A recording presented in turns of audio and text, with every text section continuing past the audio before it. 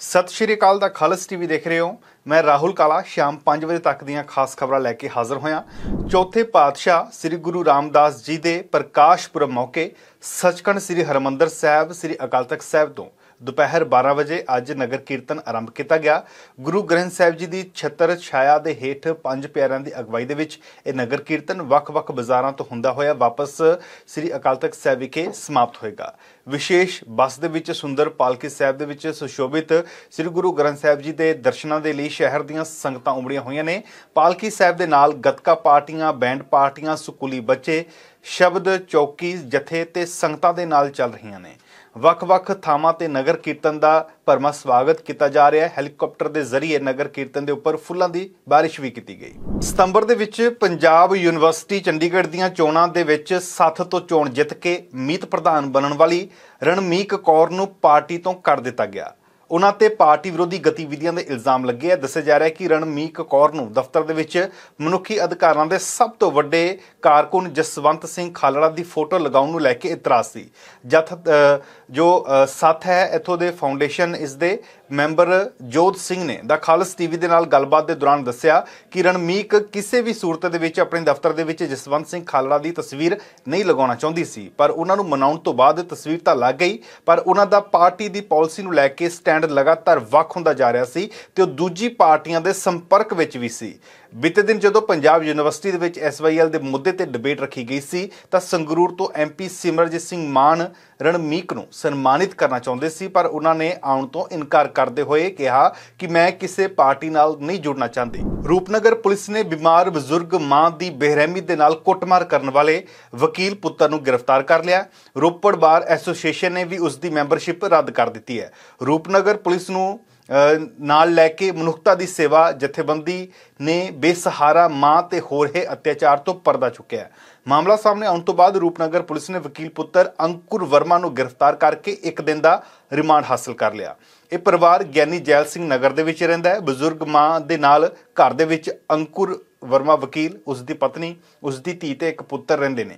ਮਨੁੱਖਤਾ ਦੀ ਸੇਵਾ ਸਭ ਤੋਂ ਵੱਡੀ ਸੇਵਾ ਐਨਜੀਓ ਦੇ ਮੁਖੀ ਗੁਰਪ੍ਰੀਤ ਸਿੰਘ ਪੁਲਿਸ ਫੋਰਸ ਦੇ ਨਾਲ ਇਸ ਘਰ ਦੇ ਵਿੱਚ ਆਏ, ਜੋ ਪ੍ਰਾਪਤ ਹੋਈਆਂ ਸੀਸੀਟੀਵੀ ਫੁਟੇਜ ਦੇ ਆਧਾਰ ਦੇ ਉੱਪਰ ਕਾਰਵਾਈ ਕੀਤੀ ਗਈ। ਗੁਰਪ੍ਰੀਤ ਸਿੰਘ ਨੇ ਦੱਸਿਆ ਕਿ ਕਾਫੀ ਸਮੇਂ ਤੋਂ ਵਕੀਲ ਅੰਕੁਰ ਆਪਣੀ ਬਜ਼ੁਰਗ ਮਾਤਾ ਨੂੰ ਕੁੱਟਦਾ ਸੀ। ਅੰਕੁਰ ਵਰਮਾ ਦੀ ਭੈਣ ਨੇ ਚੁੱਪ ਚਪੀਤੇ ਘਰ ਦੇ ਵਿੱਚ ਮਾਤਾ ਦੇ ਕਮਰੇ ਦੇ ਅੰਦਰ ਸੀਸੀਟੀਵੀ ਕੈਮਰਾ ਲਗਾ ਦਿੱਤਾ ਸੀ, ਜਿਸ ਦੇ ਵਿੱਚ ਇਹ ਕਪੁੱਤ ਦੀ ਸਾਰੀ ਦਰਿੰਦਗੀ ਨਜ਼ਰ ਜਿਹੜੀ ਆ, ਉਹ ਕੈਮਰੇ ਦੇ ਵਿੱਚ ਕੈਦ ਹੋ ਗਈ। ਥਾਣਾ ਗੋਇੰਦਵਾਲ ਸਾਹਿਬ ਪੁਲਿਸ ਨੇ ਪੰਚਾਇਤੀ ਅਧਿਕਾਰੀ ਦੀ ਸ਼ਿਕਾਇਤ ਤੇ ਪਿੰਡ ਖਵਾਸਪੁਰ ਦੇ ਕਾਂਗਰਸੀ ਸਰਪੰਚ ਦੇ ਖਿਲਾਫ ਵੱਡੀ ਕਾਰਵਾਈ ਕੀਤੀ ਹੈ। ਪੰਚਾਇਤੀ ਫੰਡਾਂ ਦੇ ਵਿੱਚ ਪੈਸੇ ਦੀ ਗੜਬੜੀ ਕਾਰਨ ਇਸ ਨੂੰ ਗ੍ਰਿਫਤਾਰ ਕਰ ਲਿਆ ਗਿਆ। ਸਾਬਕਾ ਕਾਂਗਰਸੀ ਵਿਧਾਇਕ ਰਮਨਜੀਤ ਸਿੰਘ ਸਿੱਕੀ ਦੇ ਖਾਸ ਮੰਨੇ ਜਾਂਦੇ ਪਿੰਡ ਖਵਾਸਪੁਰ ਦੇ ਸਰਪੰਚ ਜਗਰੂਪ ਸਿੰਘ ਵੱਲੋਂ ਪਿੰਡ ਦੇ ਵਿੱਚ ਵਿਕਾਸ ਕਾਰਜਾਂ ਲਈ ਲਿਆਂਦੀ ਗਈ ਗ੍ਰਾਂਟਾਂ ਦੇ ਵਿੱਚ ਵੱਡੇ ਪੱਧਰ ਤੇ ਹੇਰਾਫੇਰੀ ਕਰਨ ਦਾ ਮਾਮਲਾ ਸਾਹਮਣੇ ਆਇਆ ਸੀ। ਪਿੰਡ ਦੇ ਹੀ ਕਮਲਜੀਤ ਸਿੰਘ ਸੰਧੂ ਦੀ ਸ਼ਿਕਾਇਤ ਤੇ ਜਾਂਚ ਹੋਈ ਤਾਂ ਪਾਇਆ ਗਿਆ ਕਿ ਸਰਪੰਚ ਜਗਰੂਪ ਸਿੰਘ ਨੂੰ ਗਈ ਗ੍ਰਾਂਟ ਦੇ ਵਿੱਚੋਂ 1242371 ਰੁਪਏ ਦਾ ਗਵਨ ਹੋਇਆ, ਜਿਸ ਦੀ ਜਾਂਚ ਬਲਾਕ ਵਿਕਾਸ ਪੰਚਾਇਤ ਅਫਸਰ ਖਡੂਰ ਸਾਹਿਬ ਵੱਲੋਂ ਕੀਤੀ ਗਈ। ਇਸ ਧੋਖਾਧੜੀ ਲਈ ਸਰਪੰਚ ਨੂੰ ਜ਼ਿੰਮੇਵਾਰ ਠਹਿਰਾਇਆ ਗਿਆ। ਥਾਣਾ ਸਮਾਣਾ ਦੀ ਪੁਲਿਸ ਨੇ ਸ਼ੁੱਕਰਵਾਰ ਨੂੰ ਕਾਰਵਾਈ ਕਰਦੇ ਹੋਏ ਇੱਕ ਤਸਕਰ ਦੀ ਜ਼ਮੀਨ ਅਤੇ ਜਾਇਦਾਦ ਜ਼ਬਤ ਕਰ ਲਈ ਹੈ। ਪੁਲਿਸ ਨੇ ਪਿੰਡ ਦਬਨ ਖੇੜੀ ਦੇ ਵਿੱਚ ਨਸ਼ਾ ਤਸਕਰ ਨਿਸ਼ਾਨ ਸਿੰਘ ਦੀ 11 ਕਨਾਲ ਜ਼ਮੀਨ, ਜਿਸ ਦੀ ਕੀਮਤ ਤਕਰੀਬਨ 28 ਲੱਖ ਰੁਪਏ ਬਣਦੀ ਹੈ, ਉਸ ਨੂੰ ਜ਼ਬਤ ਕਰ ਲਿਆ। ਪੁਲਿਸ ਨੇ ਖੇਦੇ ਵਿੱਚ ਨੋਟਿਸ ਬੋਰਡ ਲਗਾ ਦਿੱਤਾ ਹੈ। ਨਿਸ਼ਾਨ ਸਿੰਘ ਦੇ ਖਿਲਾਫ ਨਸ਼ਾ ਤਸਕਰੀ ਦੇ 4 ਕੇਸ ਦਰਜ ਹੈ ਅਤੇ ਉਸਨੇ ਨਸ਼ਾ ਵੇਚ ਕੇ ਜਾਇਦਾਦ ਖਰੀਦੀ ਸੀ। ਦੋਸ਼ੀ ਖਿਲਾ- ਫਿਲਹਾਲ ਜੇਲ੍ਹ ਦੇ ਵਿੱਚ ਬੰਦ ਹੈ। ਇੰਟਰਪੋਲ ਨੇ ਹਰਿਆਣਾ ਦੇ 19 ਸਾਲਾ ਗੈਂਗਸਟਰ ਯੋਗੇਸ਼ ਕਾਦਿਆਨ ਦੇ ਖਿਲਾਫ ਰੈੱਡ ਕਾਰਨਰ ਨੋਟਿਸ ਜਾਰੀ ਕਰ ਦਿੱਤਾ ਹੈ। ਯੋਗੇਸ਼ ਬੰਬੀਹਾ ਗਰੁੱਪ ਦਾ ਐਕਟਿਵ ਮੈਂਬਰ ਹੈ, ਜਿਸ ਦੇ ਖਿਲਾਫ ਇੰਟਰਪੋਲ ਨੇ ਅਪਰਾਧਿਕ ਸਾਜ਼ਿਸ਼ ਅਤੇ ਕਤਲ ਦੀ ਕੋਸ਼ਿਸ਼ ਦੇ ਦੋਸ਼ ਲਗਾਏ ਨੇ। ਯੋਗੇਸ਼ ਕਰੀਬ 2 ਸਾਲ ਪਹਿਲਾਂ ਅਮਰੀਕਾ ਦੇ ਵਿੱਚ ਸ਼ਰਨ ਲੈਣ ਲਈ ਭਾਰਤ ਤੋਂ ਭੱਜ ਗਿਆ ਸੀ। ਯੋਗੇਸ਼ ਦਾ ਜਨਮ 12 ਜੁਲਾਈ 2004 ਨੂੰ ਹੋਇਆ। ਯੋਗੇਸ਼ ਹਰਿਆਣਾ ਦੇ ਝੱਜਰ ਜ਼ਿਲ੍ਹੇ ਦੇ ਪਿੰਡ ਬੇਰੀ ਦਾ ਰਹਿਣ ਵਾਲਾ ਹੈ। ਯੋਗੇਸ਼ ਦੇ ਬੰਬੀਹਾ ਗਰੁੱਪ ਦੇ ਨਾਲ-ਨਾਲ ਖਾਲਿਸਤਾਨੀ ਸਮਰਥਕਾਂ ਦੇ ਨਾਲ ਵੀ ਇਸ ਦੇ ਸਬੰਧ ਹੈ। ਕਿਉਂਕਿ ਹਾਲ ਹੀ ਵਿੱਚ ਖਾਲਿਸਤਾਨੀ ਦੇ ਖਿਲਾਫ ਜੋ ਕਾਰਵਾਈਆਂ ਕੀਤੀਆਂ ਸੀ ਐਨਆਈਏ ਨੇ, ਤਾਂ ਯੋਗੇਸ਼ ਦੇ ਘਰ ਵੀ ਇਸ ਦੇ ਟਿਕਾਣਿਆਂ ਤੇ ਐਨਆਈਏ ਨੇ ਰੇਡ ਮਾਰੀ ਸੀ। ਟਰੂਡੋ ਸਰਕਾਰ ਨੇ ਫਰਜ਼ੀ ਦਾਖਲਾ ਪੱਤਰ ਰਾਹੀਂ ਅੰਤਰਰਾਸ਼ਟਰੀ ਵਿਦਿਆਰਥੀਆਂ ਨੂੰ ਕੈਨੇਡਾ ਦੇ ਵਿੱਚ ਦਾਖਲ ਹੋਣ ਤੇ ਰੋਕ ਲਗਾਉਣ ਦੇ ਲਈ ਨਿਯਮਾਂ ਨੂੰ ਹੋਰ ਸਖਤ ਕਰ ਦਿੱਤਾ ਹੈ। ਫਰਜ਼ੀ ਦਾਖਲਾ ਪੱਤਰਾਂ ਦੀ ਪਛਾਣ ਦੇ ਲਈ ਸਰਕਾਰ ਨੇ ਇੱਕ ਵਿਸ਼ੇਸ਼ ਟਾਸਕ ਫੋਰਸ ਬਣਾਈ। IRCC ਟਾਸਕ ਫੋਰਸ ਨੇ ਪਹਿਲਾਂ ਹੀ ਜਾਲੀ ਦਸਤਕ ਦਾਖਲਾ ਪੱਤਰ ਨਾਲ 1500 ਤੋਂ ਵੱਧ ਵਿਦਿਆਰਥੀਆਂ ਦੇ ਵੀਜ਼ਾ ਐਪਲੀਕੇਸ਼ਨਾਂ ਦੀ ਸ਼ਨਾਖਤ ਕਰ ਲਈ ਹੈ। ਇਸ ਦੇ ਵਿੱਚੋਂ 450 ਵਿਦਿਆਰਥੀ ਫਰਜ਼ੀ ਦਾਖਲਾ ਪੱਤਰ ਦੀ ਮਦਦ ਦੇ ਨਾਲ ਕਿਸੇ ਤਰ੍ਹਾਂ ਕੈਨੇਡਾ ਪਹੁੰਚ ਗਏ ਸਨ। ਇਹਨਾਂ ਦੇ ਵਿੱਚੋਂ 263 ਕੇਸਾਂ ਦੀ ਜਾਂਚ ਕੀਤੀ ਜਾ ਰਹੀ ਹੈ, ਜਿਨ੍ਹਾਂ ਦੇ ਵਿੱਚੋਂ 63 ਕੇਸ ਸਹੀ ਹੈ ਤੇ 103 ਫਰਜ਼ੀ ਪਾਏ ਗਏ ਨੇ। ਇਹਨਾਂ ਦੇ ਵਿੱਚੋਂ 25 ਦੇ ਕਰੀਬ ਕੇਸ ਪੰਜਾਬ ਦੇ ਵਿਦਿਆਰਥੀਆਂ ਦੇ ਨਾਲ ਸੰਬੰਧਿਤ ਵੀ ਹੈ।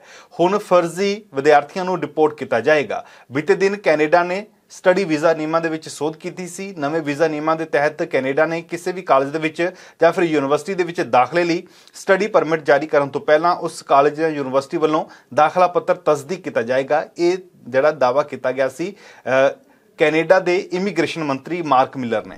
ਪਰਾਲੀ ਸਾੜਨ ਦੇ ਮਾਮਲੇ ਪੰਜਾਬ ਦੇ ਵਿੱਚ ਲਗਾਤਾਰ ਵੱਧ ਰਿਹਾ ਹੈ। ਪਿਛਲੇ 6 ਦਿਨਾਂ ਦੇ ਵਿੱਚ ਪਰਾਲੀ ਸਾੜਨ ਦੇ ਮਾਮਲੇ 5 ਗੁਣਾ ਵੱਧ ਗਏ ਨੇ।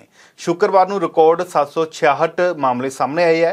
ਪਿਛਲੇ 4 ਦਿਨਾਂ ਦੇ ਵਿੱਚ ਪਰਾਲੀ ਸਾੜਨ ਦੇ ਕੁੱਲ 2113 ਮਾਮਲੇ ਦੇਖੇ ਗਏ ਸੀ। ਇਸ ਦੇ ਨਾਲ ਹੀ ਇਸ ਸੀਜ਼ਨ ਦੇ ਵਿੱਚ ਕੁੱਲ ਕੇਸਾਂ ਦੀ ਗਿਣਤੀ 4059 ਹੋ ਚੁੱਕੀ ਹੈ ਜਦਕਿ ਇਸ ਸਮੇਂ ਤੱਕ ਸਾਲ 2021 ਦੇ ਵਿੱਚ ਕੁੱਲ ਅ, 6742 ਕੇਸ ਸੀ ਤੇ ਸਾਲ 2022 ਦੇ ਵਿੱਚ 8147 ਮਾਮਲੇ ਸਨ। ਸੀਐਮ ਭਗਵੰਤ ਮਾਨ ਦੇ ਜ਼ਿਲ੍ਹੇ ਦੇ ਵਿੱਚ 98 ਮਾਮਲੇ ਦਰਜ ਕੀਤੇ ਗਏ ਨੇ। ਮਨਪ੍ਰੀਤ ਬਾਦਲ ਨੂੰ ਵਿਜੀਲੈਂਸ ਨੇ ਮੁੜ ਤਲਬ ਕਰ ਲਿਆ। ਇਸ ਵਾਰ ਉਹਨਾਂ ਨੂੰ 31 ਅਕਤੂਬਰ ਨੂੰ ਪੇਸ਼ ਹੋਣ ਦੇ ਲਈ ਸਮਨ ਜਾਰੀ ਹੋਏ ਨੇ। ਇਸ ਤੋਂ ਪਹਿਲਾਂ ਮਨਪ੍ਰੀਤ ਸਿੰਘ ਬਾਦਲ ਦੇ ਖਿਲਾਫ 23 ਅਕਤੂਬਰ ਨੂੰ ਸਮਨ ਜਾਰੀ ਹੋਏ ਸੀ, ਪਰ ਉਹ ਪੇਸ਼ ਨਹੀਂ ਹੋਏ। ਵਿਜੀਲੈਂਸ ਅੱਗੇ ਹਾਜ਼ਰ ਨਹੀਂ ਸੀ ਹੋਏ, ਜਿਸ ਤੋਂ ਬਾਅਦ ਦੁਬਾਰਾ ਸਮਨ ਜਾਰੀ ਕਰਨੇ ਪਏ ਨੇ। ਹੁਣ ਦੇਖਣਾ ਹੋਵੇਗਾ ਕਿ ਮਨਪ੍ਰੀਤ ਬਾਦਲ ਵਿਜੀਲੈਂਸ ਅੱਗੇ ਪੇਸ਼ ਹੁੰਦੇ ਆ ਜਾਂ ਨਹੀਂ ਹੁੰਦੇ, ਕਿਉਂਕਿ ਪਿਛਲੀ ਵਾਰ ਉਹਨਾਂ ਦੇ ਵਕੀਲ ਨੇ ਸਿਹਤ ਠੀਕ ਨਾ ਹੋਣ ਦਾ ਹਵਾਲਾ ਦਿੱਤਾ ਸੀ।